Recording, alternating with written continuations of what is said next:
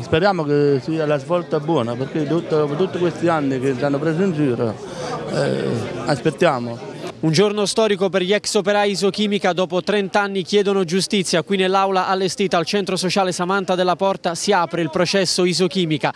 29 indagati alla sbarra tra amministratori comunali, isochimica SPA, addetti alla bonifica, ASL e responsabili delle ferrovie dello Stato. Nella prima udienza di stamattina si costituiranno centinaia di parti civili, tra cui anche Lega Ambiente e l'associazione Lotta per la Vita di Borgo Ferrovia. E noi speriamo che questo processo possa avviarne un altro, appunto quello dell'intervento non più differibile da parte delle autorità competenti per finalmente fare giustizia di tanti casi analoghi a questo. Stamattina daremo voce alle persone che non ci sono più e alle persone del rione che si sono ammalate e che continueranno ad ammalarsi, come mio padre che combatte di adenocarcinoma polmonare a terzo stadio. Grazie per questa mattanza, vergognatevi di esistere, soltanto uno dei cartelli esposti dagli operai qui all'esterno dell'aula del centro sociale Samanta della Porta. Oggi è una giornata eh, che inizia eh, con il suo cammino verso una soluzione che io ritenga debba essere diversa da quella dell'Eternit e che dia giustizia. All'esito di quasi due ore di udienza il collegio giudicante ha deciso la sospensione della trattazione fino alle 13 per dar modo agli avvocati degli imputati di presentare le eccezioni alle deduzioni delle parti civili che si sono costituite in udienza.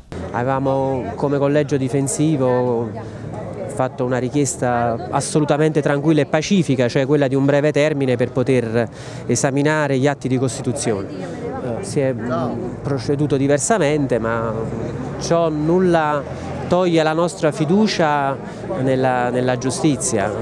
C'è un dramma sociale assoluto quale quello dell'isochimica, sono da tempo convinto che eh, la sede penale non è quella giusta per ovviare e cercare di risolvere un problema così acuto, tragico e drammatico.